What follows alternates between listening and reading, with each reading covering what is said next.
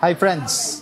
Hayaan yung basahin ko sa inyo ang dalawang talata na sa aking tingin ay napakalaking aral ang ating mapupulot, lalo na sa ating buhay ngayon.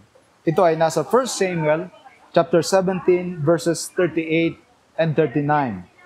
Ito po ang sabi ng Bible. So Saul clothed David with his armor, and he put a bronze helmet on his head. He also clothed him with a coat of mail. David fastened his sword to his armor and tried to walk, for he had not tested them. And David said to Saul, I cannot walk with this, for I have not tested them. So David took them off. You are familiar with the story of David. Kung paano niya naslay ang champion ng mga Pilisteo, walang iba kundi si Goliath. Sa pamamagitan lamang ng kanyang sling at ng maliit na bato, and of course, ng blessing at ng pamamatnubay ng ating Panginoong Diyos. But I thought in this specific instance, it is very telling of how one succeeds in life. How are we able to conquer the giants, the big challenges in our lives?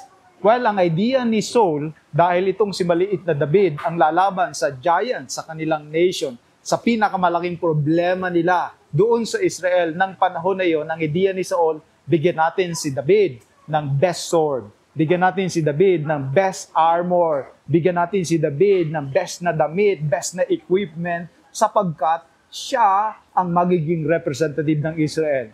Well, yung armor na yon was especially prepared for Saul. Was fitted for Saul. And so, it is the armor of the king. Pinaka the best na, pinaka mainam na, pinaka maganda na ang quality. Pero nang isuot ni David, sabi niya, I cannot walk with this, for I have not tested them. And twice itong binanggit sa verse 39, sa unang bahagi at sa pangalawang bahagi. David was given the best tool by Saul.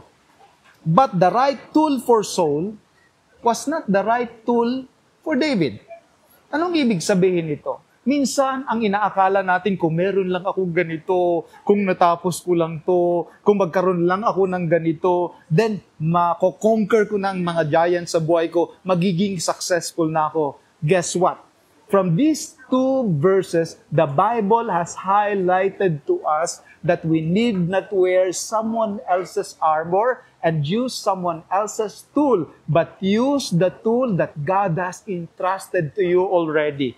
This has happened time and time again sa Bible. Like for instance, si Moses, nang tinanong siya ng Panginoon, doon, in the presence of the burning bush, sabi ng Panginoon kay Moses, what it is that it's in your hand. Anong meron ka sa kamay mo? Nang itanong din niya sa mga alagad nung nangangailangan sila ng tinapay doon sa feeding of the 5,000. Ang tanong din ng Panginoon sa kanila ay, what have you got? Hindi, what does your neighbors got? Or ano yung meron yung kakilala ninyo? Sapagkat ibinigay na sa iyo ng Panginoon nang bigyan kanya ng buhay, nang bigyan kanya ng kalakasan, kung anong meron ka ngayon ay sapat upang ikaw ay magtagumpay kung kasama mo ang Panginoong Diyos sa laban ng buhay. Alam nyo, kahit na pinakamagaling na tool, pinakamagandang gadget, pinakamataas na pinag-aralan, hindi tayo maihahatid sa pagtatagumpay sa buhay kung hindi natin kasama ang ating Panginoong Diyos. David was successful not because of the tool that he has, but because of the person that goes ahead of him. That is God who accompanies him in the biggest battle of his life. I do not know what battle you are going through right now, but even now we can be successful as we live God's Word in this world.